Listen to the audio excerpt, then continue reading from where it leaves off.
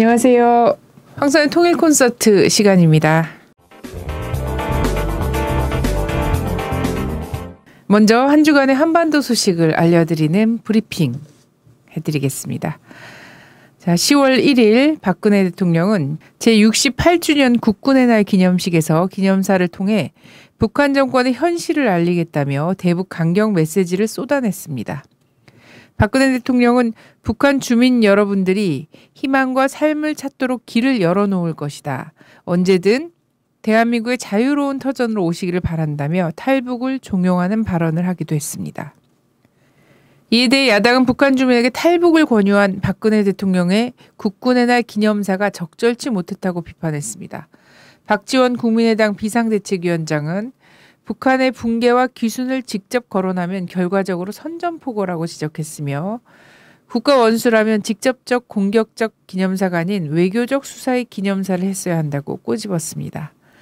우상호 더민주당 원내대표 역시 박 대통령의 북한 주민에 대한 탈북 권유를 굉장히 위험한 발언이라고 비판했습니다. 우 의원은 북한을 붕괴시켜야 한다는 발상은 바람직하지도 않고 효과적이고 지혜로운 대책도 아니다. 라고 강조했습니다. 정세현 전 장관 역시 박 대통령의 기념사는 북에게 사고칠한 이야기와 같다며 앞으로 남북 관계가 전쟁에 준하는 그런 상태로 악화될 것이라고 전망했습니다. 또한 정세현 전 장관은 대통령의 이 같은 발언은 각종 게이트로 레임덕이 굉장히 빨라진 상황에서 이를 타개하기 위한 일종의 국면 전환용이라고 분석했습니다. 박근혜 대통령의 탈북 권유, 조장 발언이 파장을 일으키고 있는 가운데 4일 통일부 당국자는 기자들과 만나 북한 주민들에 대한 연민의 정을 내비친 것으로 보면 된다. 거기에 따라서 세부적이고 구체적인 조치를 하고 있지는 않다며 한 발 빼는 듯한 모습을 보였습니다. 4일 최경환 국민의당 의원이 박근혜 대통령이 내년 상반기에 남북 군사적 충돌을 계획하고 있다는 예비역 장성의 정세 분석 문자 메시지를 공개해 파문이 일고 있습니다. 외교안보 분야에 종사했다는 예비역 국군 장성은 문자 메시지를 통해 나는 10월 1일 기념사를 통해 박 대통령이 대북 선전포고를 한 것으로 단정한다며 대통령의 다음 수순은 북한이 한미연합군에 의한 보복 빌미를 줄 수 있는 도발을 해오도록 계속 자극하는 것. 박 대통령 계획대로라면 내년 상반기까지 남북 간 전쟁에 준하는 군사적 충돌이 있을 것이라고 전망했습니다. 지난 9월 27일 러시아 리아노보스티 통신에 따르면 북한 대사관은 자국 핵무기 연구소를 인용한 보도문에서 최근 5차 핵실험에서 조선인민군 전략군 화성 포병부대들의 전략 탄도 로켓에 장착할 수 있게 표준화되고 규격화된 핵탄두의 구조와 동작 특성, 성능과 위력을 최종적으로 점검하고 확인했다고 밝혔습니다. 보도문은 핵실험과 같은 중요한 사건은 조선중앙통신 보도나 정부 성명으로 공개해 왔지만 이번엔 핵탄두 실험에 대해 핵무기 연구소가 밝혔다며 핵무기 연구소라는 극비 기관을 공식적으로 공개한 것은 조선이 핵무기 개발을 기본적으로 완료했다는 확신의 표현이라고 강조했다고 합니다. 북한의 핵무기 개발 완료 발표와 관련하여 오스트리아 빈의 국제기구 주재 러시아 상주 대표는 북한이 더 이상 핵실험하지 않겠다는 뜻으로 해석될 수 있다고 조심스럽게 전망했습니다. 미 정책 연구기관 우드로 윌슨 센터의 제인 하먼 소장과 제임스 퍼슨 한국 역사 공공정책 센터 소장은 2일 워싱턴 포스트 기고를 통해 한반도 비핵화는 일단 장기적 목표로 두고 북한의 핵 장거리 미사일 실험 동결과 IAEA 사찰단의 북한 복귀를 당면 목표로 삼아 북한과 직접 대화에 나설 필요가 있다고 제안했습니다.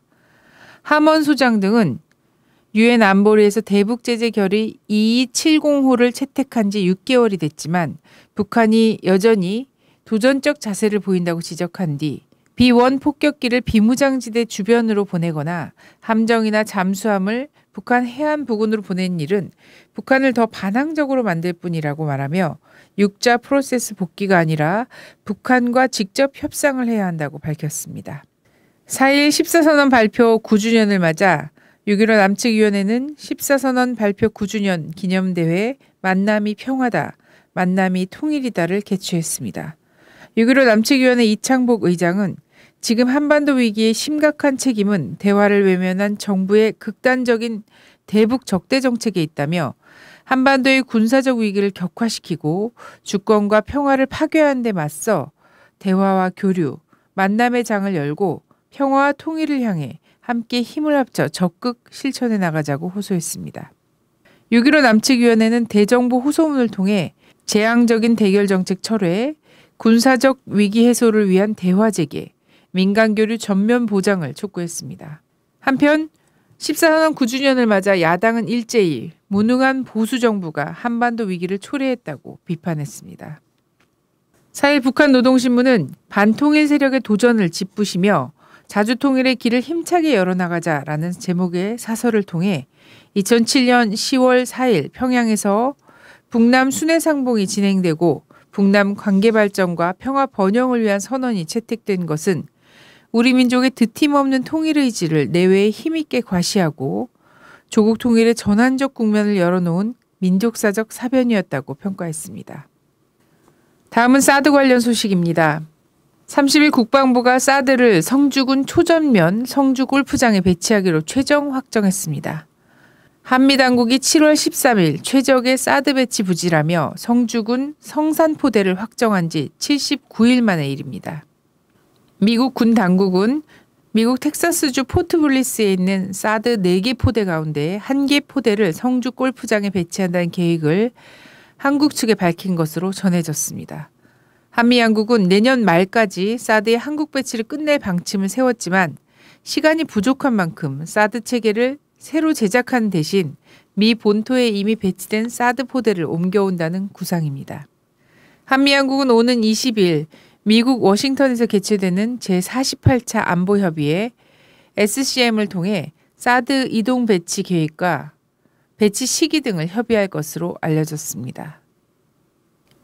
미국에서 미사일 방어 체계를 수십 년 동안 연구해온 미사일 분야 권위자 포스톨 미국 MIT 명예교수는 3일 14 남북 정상선언 아홉돌 국제 학술 토론회에 참석해 사드가 애초부터 MD에 통합되도록 설계됐으며 진짜 미사일과 파편을 구별해낸 능력이 없기 때문에 북한의 미사일을 막기에 적합한 무기 체계가 아니라고 주장했습니다.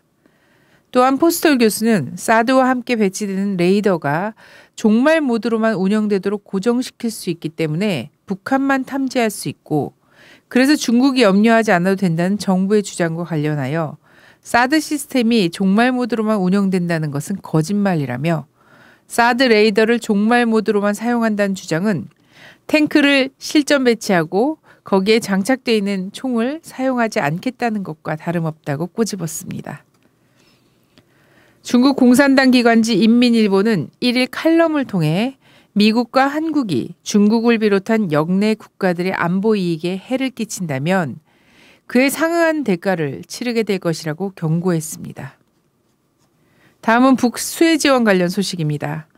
4일 전국 농민의 총연맹과 민주노총, 6.15 남측위원회 등은 정부 서울청사 앞에서 기자회견을 열어 보편적 인륜의 기초에 남과 북은 하나란 동포애적 입장에 입각해 통일 쌀 보내기 운동을 시작하고자 한다고 발표했습니다. 통일 쌀 보내기 운동은 성금을 모아 우리 농민이 재배한 쌀을 구입해 북한 수해 지역과 남한 내 소외 계층에 보내는 운동입니다. 우리 민족 서로 돕기 운동이 지난 1, 2차 지원에 이어 지난달 29일과 30일 두 차례에 걸쳐 수해 피해를 입은 산림직 복구를 위한 바닥 장판과 필수 의약품 등 약 8천만 원 상당의 물자를 함경북도 수해 지역에 긴급 지원했다고 밝혔습니다. 북한 함경북도 지역 수해 지원을 위한 민간단체의 모금 활동이 확대 조짐을 보이고 있습니다. 우리결의 하나되기 운동본부는 28일 정부가 지원에 부정적이고 남북 민간단체의 대화 창구도 막혀 있지만 북측 파트너와 국제단체 등을 통해 지원할 수 있는 모든 방법을 찾고 길을 열고자 한다며 긴급 모급 캠페인을 벌인다고 밝혔습니다. 북수해 소식이 전해지자마자 수해 지원 모금 활동을 진행했던 재미동포 신은미 씨도 페이스북을 통해 함경북도 대홍수 피해 북녘 동포 돕기 성금 모금이 목표액의 3배를 넘는 3,680만 원이 모아졌다고 알리며 10월 11일까지 페이팔이나 국내, 미국 계좌를 통해 수혜 지원 모금을 진행한다고 밝혔습니다. 금강산 기업인 협의회와 남북 경협기업 비상대책위원회는 14선언 9주년을 맞은 4일 남북 경협기업 생존권 보장 및 남북관계 개선을 위한 평화 큰 행진을 갖고 100일 철야 농성에 돌입했습니다. 이날 집회에 참석한 경협 기업인들과 시민사회단체 인사 80여 명은 남북 경협은 죽었다는 의미로 검은 옷에 검은 모자를 쓰고 참여했습니다. 자, 화재 현장 잠시 들려볼까 합니다. 어, 10월 4일. 네, 10월 4일 14 남북 공동 선언이 있은 지 어, 9주년이 된 날이었습니다. 아, 9년 전 2007년 10월 4일 노무현 대통령이 그 남북 정상회담을 마치고 서울로 귀환하는 길에 어, 개성공단에 들렸던 일이 있습니다. 지금은 9년이 지나서 그 개성공단이 어느새 이제 문을 닫고 어, 개성공단 기업인 협의회를 비롯해서 남북 경협 기업인들이 정부 청사 앞에서 항의를 하고 기자회견을 하고 또 남북관계 개선을 위한 또 100일 철야 농성에 돌입을 했는데요. 어, 100일 철야 농성을 선포하고 그리고 그 남북관계 개선을 위한 평화의 큰 행진을 하는 모습 그 현장 주권 방송이 함께 담아봤습니다. 함께 보시죠. 남북 경협 하라더니 나 몰라라 웬 말이냐 경협 기업 살려내라 남북 경협 기업 생존권 보장 및 남북 관계 개선을 위한 평화 큰 행진을 힘찬 음성으로 시작하겠습니다. 평화의 씨앗이요 통일의 전령사라는 자부심 온데간데 없고 남북 간의 극심한 대립과 전쟁 위험 속에서 경영기업인들이 가슴은 찢어지고 짓밟혔습니다. 정부의 일방적인 사유로 잠정 중단이라는 발표 아래 9년 동안 정부를 믿고 기다렸지만 이젠 개성공단마저도 폐쇄돼 버리고 북의 핵을 핵에 대응하기 위해서 대북 제재로 성공할 수 있겠느냐 하는 것은 여러 가지로 의문이 생깁니다. 대북 제재로 할 것이 아니라 대북 제재를 풀고 오이사 조치를 해제하고 개성공단을 재가동하고 금강산 관광을 재가동함으로써 9년 전 14선언이 올해까지 중단 없이 진행되어 왔다면 개성공단뿐만이 아니라 10개, 20개의 개성공단으로 확장되어서 남북 경제협력의 새로운 신기원을 만들어 놓았어야 할 그런 시기입니다. 그런데 지난 9년 동안 이 14선언이 실종되어 버렸습니다. 청와대와 북쪽 국방위원회가 합의했던 어떠한 정세에 관계없이 개성공단을 유지하겠다고 합의했던 그 합의 조각을 휴지 조각으로 만들면서 군사작전하듯이 개성공단을 일방적으로 폐쇄 조치했습니다. 이명박 박근혜 정부 이제 9년이 돼가면서 북한의 핵능력은 더 고도화되고 미사일 발사 능력도 이제는 미국을 겨냥하고 있습니다. 본인들의 핵 정책이 실패하고 대북 정책의 실패를 남북 경협인들에게 전가하고 있습니다. 엄마 아빠의 회사는 북한 농산물 교육을 하던 업체입니다. 물론 시장에는 중국산 고사리가 많지만 자랑스럽고 의미 있는 그때 그 북한산 고사리가 그립습니다. 기다려라. 이제 오이사가 풀릴 것이다. 오이사만 풀리면 이라고 6년 동안 해마다 얘기하시던 뜻을 이제야 알게 되었습니다. 안타깝고 죄송하고 부끄럽습니다. 2000년대 초반 저희 부모님은 금강산에서 사업을 시작하셨습니다. 관광을 다녀오신 분이라면 관광지마다 따라다니는 빨간색의 황금마차라고 쓰여진 푸드트럭을 한 번쯤은 보셨을 거예요. 그 트럭이 어, 저희 아버지가 하시, 운영하시던 트럭이었습니다. 강한 인상을 남기고자 저희 아버지의 마, 아이디어로 만들어진 트럭은 북쪽 사람들도 기억을 할 정도였습니다. 개인 사업자로서는 최초로 들어오셨다는 사명감으로 다른 직원에 뒤처지지 않을 만큼 열심히 하셔서 당시에는 신문이나 TV에도 저희 부모님의 얼굴을 보실 수 있었습니다. 시간이 갈수록 금강산 관광이 알려지며 저희 부모님은 나라를 위해서도 일한다는 생각에 시간, 돈, 모든 열정을 금강산 사업에 투자하셨습니다. 잠시 일을 보러 나오실 때에만 남쪽으로 내어, 내려오시고 그 외에는 금강산에서 모든 시간을 투자하셨습니다. 그렇게 열심히 노력하신 덕분에 저희 가족은 처음으로 해외로 가족여행도 다닐 수 있었고 저희 가, 저와 제 동생이 하고 싶었던 공부도 어려움 없이 할 수 있게 되었습니다. 그때가 저희 가족에게는 가장 행복한 시간이었습니다. 2008년 17월 11일 관광 관광객 피살 사건으로 인해 금강산 사업지는 비상상태가 되어 저희 부모님은 짐도 제대로 챙기지 못하고 입은 옷 그대로 내려오셨습니다. 며칠만 있으면 다시 올라갈 거라 생각하셨던 부모님은 그렇게 9년이 지나도록 다시는 그곳에 가보실 수 없었습니다. 하루, 일주일, 1년 시간이 지날수록 저희 부모님은 속이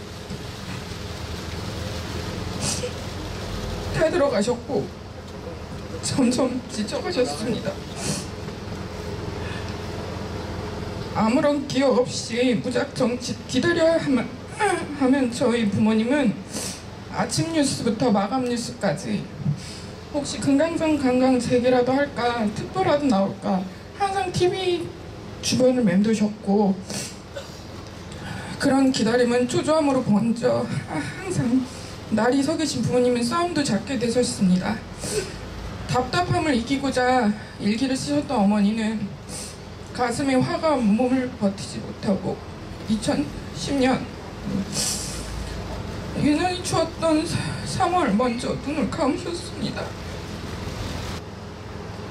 그러기를 3년 제가 몸이 아프기 시작하면서 저를 대신해 누구보다 열심히 가족을 생각하며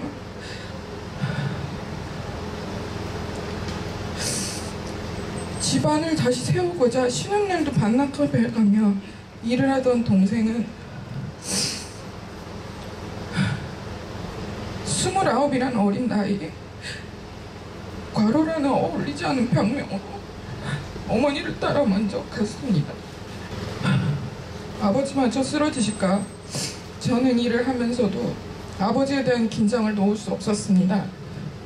그래도 희망만은 버리지 않고 금강산이 다시 열리면 하고 싶다는 사업 아이디어도 생각하며 그렇게 하루를 보내셨습니다. 그러나 속절없이 흐르는 시간은 그 희망마저 아버지에게 거서갔습니다. 기다림이 독이 되어 아버지마저 뇌졸중으로 쓰러지시고 회복되기 힘든 몸으로 지금은 현재 입원해 계십니다. 만약 그때 금강산 관광이 중단되지 않았더라면 저희 가족, 저희 부모님이 아직도 황금마차를 운영하실 수 있었더라면 저희 가족은 이렇게 처참하게 무너지지 않았을 겁니다. 오히려 행복했던 그때 연장선에 있었을 겁니다. 저는 이제 기다림이 희망이라고 생각하지 않습니다. 희망을 담은 기다림이 저희 가족에게 어떤 용- 영향을 주었는지 방금 여러분들은 들으셨습니다. 저는 제대로 제대로 된 매듭을 원하기 때문에 이 자리에 섰습니다. 제가 여러분들 앞에서 저희 가족의 이야기를 하는 것은 이제 더 이상 기다릴 수 없기 때문입니다. 기다림을 매듭 짓기 위해 여름에 도움을 청하기 때문입니다. 우리 남북 관계가 먼저 개선이 돼야 되고 대화 다시 가자 금강산 다시 만나자 이산가족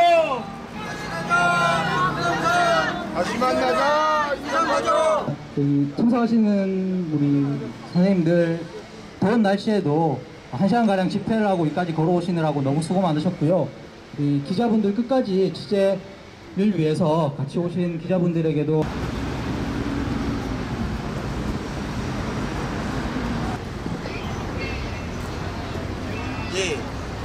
예. 좀 경협 기업 살려내라 시작을 하기 앞서 구호를 한 두 개 정도만 외치고 다시 한번 정부는 남북 경협 기업인들의 절절한 호수를 들어라.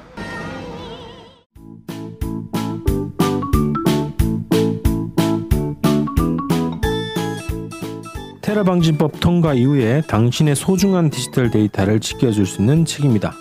김인성의 완벽한 데이터 관리. 주권방송 후원을 위한 500권 한정 공동 구매를 10% 할인된 가격인 26,000원에 택배비를 포함해서 주문을 받고 있습니다.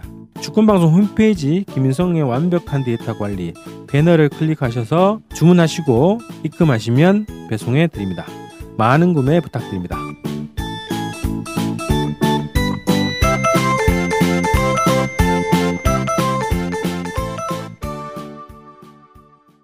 네, 조미료 시간입니다. 예, 오랜만에 조미료 시간 되었는데요. NK 투데이의 문경환 기자님 모셨습니다. 안녕하세요. 안녕하세요. 자, 지난 시간에는 2010월에 있었던 북미 공동 커뮤니케 그 내용까지 자세하게 알아 보는 시간을 가졌었는데요. 이 북미 정상회담까지 합의한 가장 높은 수준의 이 합의문이라고 할 수 있는데 이게 미국에서 부시 정부가 등장하면서 다시 물거품이 되지 않았습니까? 네. 클린턴 정부에서 부시 정부로 정권 교체가 되면서 부시 정부가 초반에 내세웠던 정책이 ABC 정책이라는 게 있었습니다.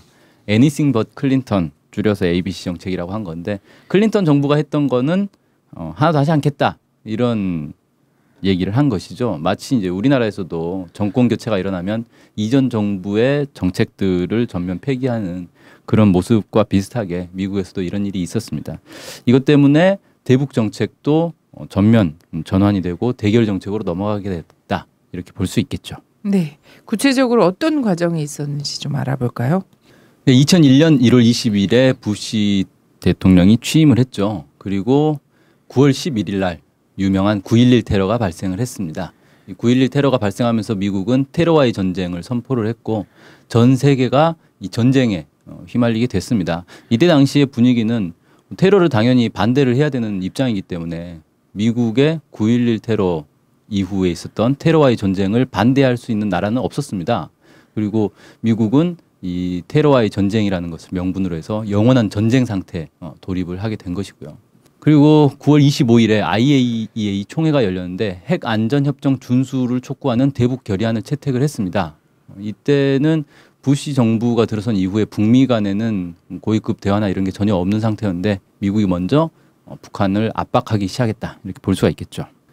이듬해인 2002년에 들어서 미국 대통령이 연두교서를 발표를 했는데 여기에 북한, 이란, 이라크 이 세 나라를 불량 국가, 악의 축으로 지목을 하면서 이 세 나라에 대한 적대 정책을 더욱 강화하게 됩니다. 그리고 3월 9일에 핵태세 검토 보고서가 내용이 유출이 되는 상황이 발생합니다. 그 미국 언론에 이 내용이 유출이 됐는데 북한과 이라크 등 일곱 개국에 대해서 전술 핵무기를 사용하도록 준비를 해야 된다 이런 내용이 명시가 돼서 이게 북미 제네바 합의에 어, 나와 있던 핵으로 위협하지 않는다라는 내용을 이제 뒤집은 것 아니냐 이런 논란이 됐고 여기에 이제 북한이 반발을 하면서 모든 북미 간의 합의를 재검토하겠다 이렇게 주장을 하게 됐습니다. 9월 16일에 도널드 럼스펠드 미 국방장관이 북한을 세계 최악의 대량 살상 무기 개발 확산국으로 지목을 하고 어, 핵을 비밀리에 개발했을 것이다 이렇게 이제 주장을 하게 됩니다.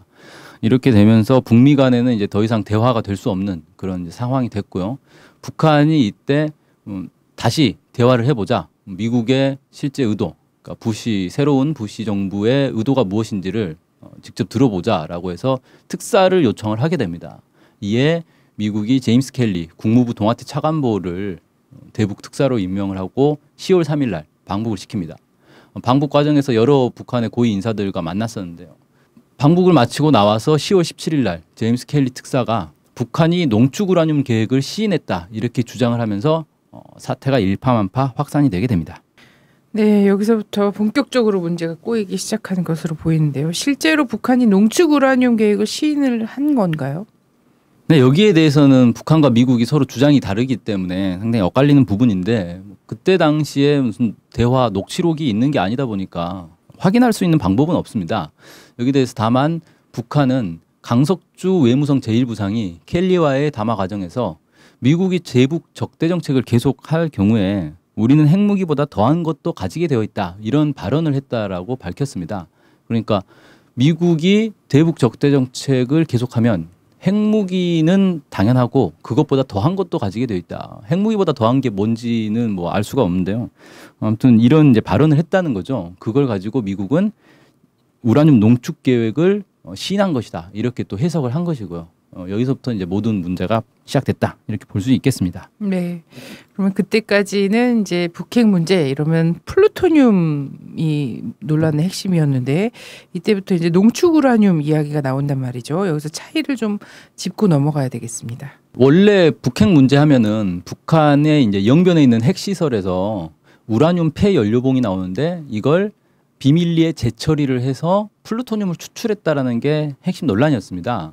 그래서 이 플루토늄을 추출하면 이걸 가지고 곧바로 핵무기를 만들 수 있기 때문에 과연 북한이 재처리를 했는지 폐연료봉 상태가 온전한지 플루토늄을 어디에 숨기지 않았는지 이런 것들을 사찰을 해야 된다 뭐 말아야 된다 이런 게 이제 핵심 논란이었는데 미국이 새롭게 들고 나온 우라늄 농축 얘기는 이제 전혀 다른 얘기가 되는 것이죠 왜 그러냐면 우라늄을 광석을 이제 캐 와서 농축을 하면 이게 경수로에 사용되는 핵 발전용 우라늄 원료가 되는 겁니다. 그런데 이걸 계속해서 농축을 하면 고농축이 되는데 이 고농축 우라늄은 무기로 그대로 사용할 수가 있게 되는 것이죠. 그러면 고농축 우라늄과 플루토늄은 어차피 둘 다 핵무기로 사용될 수 있는 건데 뭐가 다른 거냐? 플루토늄의 경우는 중수로나 흑연 감속로 같은 곳에서 우라늄을 계속해서 발전을 시켜서 폐 연료봉이 될 때까지 기다린 다음에 폐 연료봉을 추출해내서 거기서 플루토늄을 추출하는 방식입니다. 그러니까 이건 북한이 핵시설을 얼마나 가동하는지를 관찰을 하면 플루토늄을 얼마나 추출했는지도 파악을 할 수가 있다는 거죠. 그런데 우라늄 농축 같은 경우는 지하 시설이라든지 아니면 실내에서 농축 작업을 하기 때문에 이 농축 작업을 얼마나 했는지를 파악을 할 수가 없다는 겁니다. 그리고 우라늄 같은 경우는 북한에 또 많이 매장돼 있기 때문에 북한이 자기들 땅에서 우라늄을 캐다가 농축을 하면 얼마나 많은 우라늄을 농축했는지 전혀 파악을 할 수가 없게 되는 것이죠. 그래서 미국 입장에서는 이게 더 불안한 문제가 되는 것이고 우라늄 농축과 플루토늄은 전혀 다른 차원의 어, 얘기가 되는 것이다. 이게 이제 미국의 입장이었던 것입니다. 오늘은 북미 공동 커뮤니케에서 정상회담까지 합의했던 북미 관계가 어떻게 해서 이 물거품이 되게 됐는지 이 과정을 살펴봤는데요. 다음 시간에는 어떤 주제로 만나볼까요? 네, 다음 시간에는 북미 제네바 합의가 구체적으로 어떻게 파기되기 시작했는지 여기에 대해서 살펴보도록 하겠습니다. 네, 말씀 감사합니다. 감사합니다. 안녕하세요. 북한의 과학기술 역사를 전공한 강호재입니다. 제가 이번에 책을 냈습니다. 북한을 과학기술로 다시 한 번 더 보자라는 의미로 과학기술로 북한 읽기라는 책을 냈습니다. 북한의 흐름을 제대로 보기 위해서는 저는 과학기술로 북한을 봐야 되지 않을까 싶습니다. 최근에 북한의 흐름을 얘기하는 옛날 얘기를 모았습니다. 옛날에 북한이 이러이러한 일들을 해왔다라는 걸 아주 쉽게 에피소드로 구성을 했고요. 그리고 잘 알려지지 않았지만 중요한 과학자들 그리고 최근에 핵이나 북한의 경제 발전 전략, 그다음에 인공위성 이런 얘기들을 과학술적인 측면에서 북을 본다면 어떻게 해석될까 이걸 글로 써봤습니다. 이거를 보시면 북한을 새롭게 보실 수가 있고요. 그리고 앞으로 통일은 더 가깝게 다가온다는 느낌을 받을 겁니다. 인터넷 서점에서 검색하시거나 아니면 옆에 배너를 클릭하시면 제 책을 빠르게 볼 수 있을 겁니다. 책에서 뵙겠습니다. 네, 북새통 시간입니다. 오늘도 NK투데이의 이동훈 기자님 모셔봤습니다. 안녕하세요. 네, 안녕하세요. 자, 오늘은 어떤 내용을 또 준비를 하셨을까요? 예, 오늘은 북한의 중앙동물원을 준비를 해봤습니다. 음. 중앙동물원은 1959년 개장을 했었는데요. 김정은 위원장이 2014년에 개건할 것을 지시를 해서 개건 작업이 진행됐고 올해 7월 24일 날 재개장을 했습니다. 어릴 때 동물원에 갔던 기억을 떠올리시면서 이 중앙동물원을 보시면 좋을 것 같습니다. 네, 저도 평양 북한의 그 중앙동물원을 갔던 기억이 아, 납니다. 네. 네. 그때와는 좀 많이 달라져 있을 것 같네요. 그럴 것 같은데요. 네. 일단 중앙동물원은 본관, 자연박물관, 수족관, 물개 제주장, 뭐 파충관, 조류관 뭐 이런 다양한 관들이 있고요. 그래서 여덟 개의 동물관과 서른일곱 개의 동물사 이게 이렇게 있다고 합니다. 어, 지금 보시는 사진이 중앙동물원의 전경 사진입니다. 어, 가장 눈에 띄는 건 역시 본관 입구가 호랑이 입으로 들어가게 돼 있다는 게 좀 많이 눈에 띄고요. 그래서 누가 봐도 여기는 동물원이겠다라는 생각이 좀 들지 않을까. 아, 이런 생각이 들고 사진에서 왼쪽 뒤편에 있는 건물이 자연박물관이고요. 이 자연박물관은 생명체의 역사를 다루고 있는 곳이다 이렇게 이야기를 하고 있습니다. 아이들은 좀 의시시할 수도 있겠는데요. 호랑이 입으로 들어가는. 네. 네. 이 사진을 보시면 오른편에 예, 보시면은 또 호랑이 입이 있죠. 뒤에도 호랑이 입으로 만들어졌다고 합니다. 이렇게 가운데 있는 수조에는 철갑상어가 살고 있는 곳이라고 하고 저기 다리가 있잖아요. 저 다리가 투명한 다리여서 저 위를 지나면서 철갑상어가 헤엄치고 있는 모습을 볼 수 있다. 이렇게 이야기를 하고 있습니다. 그 앞에 있는 건물이 바로 수족관 건물입니다. 네, 호랑이 입을 통과해서 들어가면 본관 건물 홀이 나오는데요. 어, 사진을 보시면 위쪽에 태양빛이 들어올 수 있도록 투명하게 돼 있어서 실내가 낮에 매우 밝게 조성이 돼 있고요. 네, 호랑이 몸속 같진 않군요. 최소한. 네, 호랑이 몸속 네. 같진 않습니다. 어, 이렇게 본관에 이런저런 시설들이 있는데요. 동물원의 연혁을 표시한 곳이 있고 과학 지식 전시홀이라고 해서 이 동물과 관련한 과학 지식이 전시되어 있는 곳이 있습니다. 그 외에도 매점이라든지 기념품 파는 곳이라든지 이런 것들도 준비가 되어 있다고 합니다. 그 모든 장소에 좀 특- 공통된 특징 같은데요. 딱 들어가면 늘 역사와 연혁 네. 그 무슨 학교를 가든 무슨 음. 뭐 타가소를 가든 아니면 이런 공원을 가든 꼭 이게 언제 생겼고 어떤 역사를 거쳐서 오늘에 이르고 있는지를 굉장히 장황하게 설명을 해주시는 분들과 이 표가 있더라고요. 한 네. 일면 좀 재미가 없기도 하지만 네. 매우 중요시 여기고 있다 네. 이런 인상을 받았습니다. 동물원 가서도 저런 걸 봐야 되네요. 네. 이 건물이 혹시 어떤 건지 혹시 아시겠어요? 글쎄 보, 모양만 보기엔 식물원 이런 거 아닐까 뭐 이런 생각이 네. 드는데 아, 저- 시장인가? 저도 사진만 이것만 딱 봐서는 아 이게 식물원인가 이렇게 생각을 했었는데 이게 네. 조류관이라고 합니다. 이 장면을 보면 이게 공사 중인 모습인데요. 제 둥그런 부분이 새 알, 그 옆에 부분으로 해서 새 날개 모양으로 건물을 조성을 했습니다. 네, 매우 직관적이네요. 네. 네, 위에서 보니까. 네. 이곳에서는 조류에 대한 종합적인 지식을 얻을 수 있도록 준비가 되어 있다고 합니다. 그래서 그 안에 들어가 보면 그 둥그런 부분에 조류들이 있는 거죠. 온대구, 아열대구, 열대구 이렇게 나눠서 구에 맞게 기온이라든지 이런 것들을 조정을 하고 그곳에서 살고 있는 조류들을 볼 수 있도록 그 조성이 되어 있다고 합니다. 네. 이곳도 이제 조류들이 있는 곳인데요. 이곳은 명금사라고 합니다. 그 희귀하고 아름다운 새들을 명금이다 아, 이렇게 표현을 하더라고요.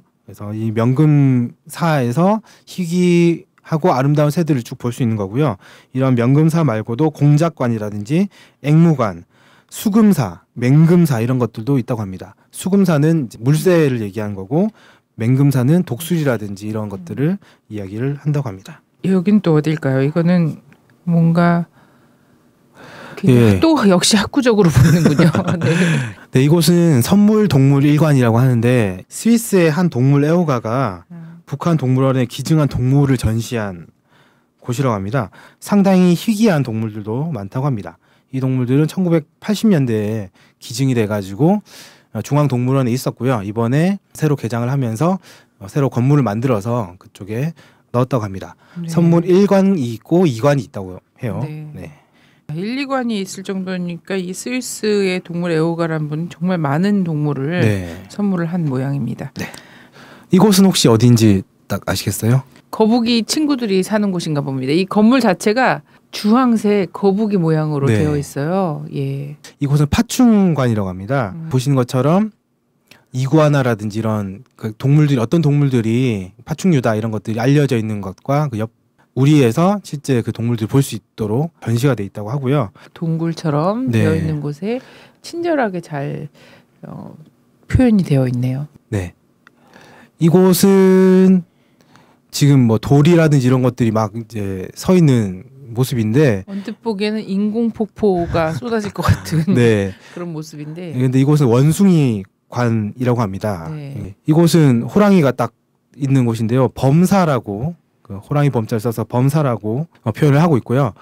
어, 앞에 철창으로 돼 있잖아요. 철창 말고 유리로 해서 강화 유리를 만들어 가지고 사람들이 좀 더 가까이에서 호랑이라든지 이런 동물들을 볼 수 있도록 환경이 조성돼 있다고 하고요. 네. 한쪽에는 백호가 있고 한쪽에는 백두산 호랑이라고 믿고 싶은 뭐 호랑이가 네. 있네요. 네. 네. 아 사슴들이 네, 지금 사슴들이 떼지어가지고 꽃사슴이네, 꽃사슴. 네. 네, 사슴들이 모여 있는 모습을 사진 통해 보실 수가 있습니다. 네, 아기들한테 정말 인기가 많은 사슴사일 것 같아요. 네. 네. 그리고 이곳은, 이곳은 말이 있는 마사라고 네. 합니다. 여러 말들을 이제 보면서 말의 습성이나 이런 것들을 공부할 수 있는 안내원들이 설명도 해준다고 하고요. 말을 탈 수도 있게 그 준비도 되어 있다고 합니다. 네, 저도 중앙동물원에서 98년도에 말을 타서 장군감이라는 그런 호평과 네. 네, 말을 힘들게 했습니다. 네. 이렇게 마사뿐만이 아니라 뭐 코뿔소라든지 하마라든지 뭐 다른 다양한 코끼리라든지 다양한 동물들이 있고요. 그 개 발바닥 모양으로 건물을 만들어서 이게 개를 넣어 놓은 개 관도 있다고 합니다. 치와와라든지 다양한 종류의 개들이 그 안에 이제 들어 있어서 상당히 인기가 좋다고 합니다. 어, 지금 이제 보시는 거는 수족관의 모습입니다. 어, 이거 무슨 부산 아쿠아리움이나 뭐 어디죠? 코엑스? 네. 코엑스 아쿠아리움. 그런 데랑 네, 비슷해 흡사하네요. 보이더라고요. 네. 그 어, 이것도 이것도 물고기들이 헤엄치고 있고 밑에서 사람들이 위를 쳐다보면서 지나갈 수 있도록 환경이 조성되어 있습니다. 어, 지금 이 모습은 펭귄이죠.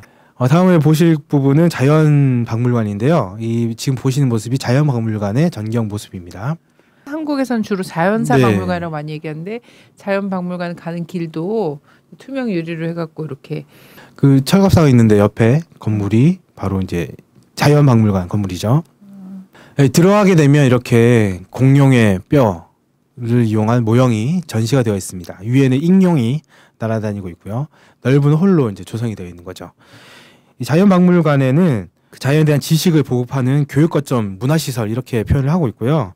우주관, 고생대관, 중생대관, 신생대관, 동물관, 식물관 이렇게 각 그 여러 관들이 있어서 사람들이 보면서 그 진화의 과정이라든지 이런 것들을 공부를 할 수 있다고 합니다. 그리고 자료 열람실과 과학기술 보급실도 마련이 돼 있다고 합니다. 어, 지금 이 모습은 공룡이 있는 걸 보니까 중생대 쥐락이죠, 네, 쥐락이. 쥐라기와 백악기 뭐 이런 것들이 표현되는 중생대관으로 보이고요. 어 저기 어 우리가 맨날 그 공룡 관련한 만화를 본다거나 네. 이러면 꼭 나오는 티라노사우루스 그렇죠. 이름이 뭐 북에서도 티라노사우루스라고 부르는군요. 이거. 네. 예. 브라키오사우루스. 네, 뒤쪽에 이제 큰- 목긴. 네. 네. 어, 이거는 음, 역시 이제 중생대에 있었던 시조새인 것 같아요. 한국에도 자연사 박물관이 지역마다 굉장히 많이 있어요. 네. 많이인데 제법 이제 잘 꾸려진 음. 굉장히 소규모 자연사 박물관도 되게 많고 화석 같은 거 많이 놔두고 막 이런 데도 있고 한데 좀 공들여 좀 잘 꾸린 자연사 박물관에 좀 태가 나네요. 네. 아, 이, 이곳은 이제 동물관의 모습인데요. 지금 보시는 것은 파충류들의 모습인데 왼쪽에 보시면 조류라고 또 표시가 되어 있지 않습니까? 네. 아마 저 안으로 들어가면 조류들이 쭉 전시가 되어 있는 것 같습니다. 네. 이것은 지역별로 있는 뭐 새의 뭐 생태 조류의 모습이겠죠. 동물관의 조류 네. 이런 것들이 이제 있는 모습이고요. 상당히 넓군요. 네. 네. 어, 이곳은 식물관으로 보이는데요. 팻말을 보니까 백두산 산림, 오가산 산림 이렇게 해서 지역에 따라서 어떤 식물들이 자라는 건지를 이렇게 눈으로 볼 수 있게 조성을 한 것 같습니다. 네. 아, 이곳은 동물관 중에 하나인데 아래에 보시면 뭐 금가 있는 것처럼 보이시죠? 그 홀로그램으로 해서 음. 원래 상어가 밑에서 헤엄쳐 올라와서 유리에 부딪히는 장면이 있습니다. 어. 그 상어 부딪히면은 한 번 금 가고 또 부딪히면 저렇게 금이 많이 가는 걸로 어. 사람들이 보면서 즐거워하는 모습이 또 영상으로 공개되기도 했었어요. 네네. 네, 저거 좀 실감 나겠네요. 상어가 네. 바닥에서 치고 올라오는 것 같은 뭔가. 네. 예. 그렇게 해서 이제 자연사 박물관까지 쭉 한번 살펴봤습니다. 네. 자, 빨리 남북 관계가 좋아져서 네.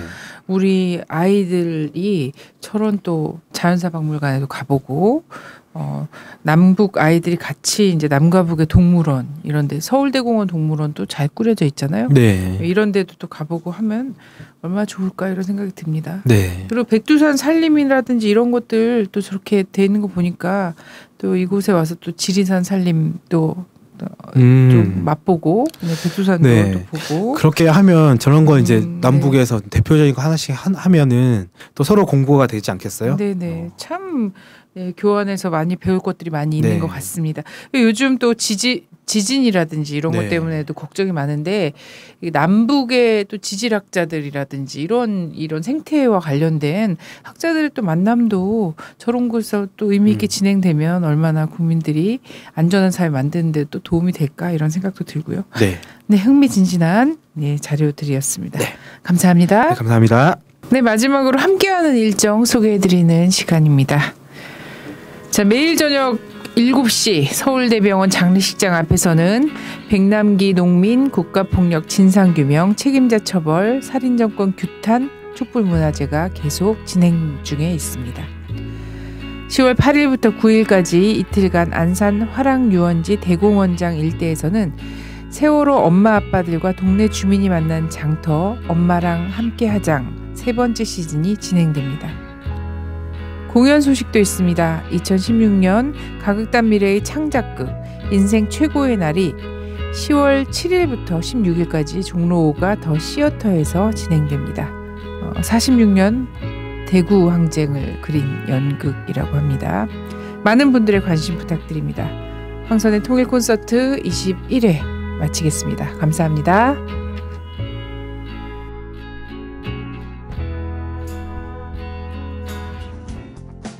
주권 방송이 민중의 눈과 귀를 멀게 하는 공중파와 종편, 신문들에 맞서 진보 언론의 사명을 다할 수 있는 힘은 애청자분들의 적극적인 참여에 있습니다. 주권 방송을 후원해 주십시오. 홈페이지 www.615tv.net에서 민들레 홀씨 정기 후원인이 되어 주시거나 우리은행 1005 501 779 765 주식회사 주권방송으로 직접 후원을 해주셔도 좋습니다. 저희 주권방송은 평화 번영과 민주 회복을 위한 진보 언론의 사명을 성실히 수행할 것입니다.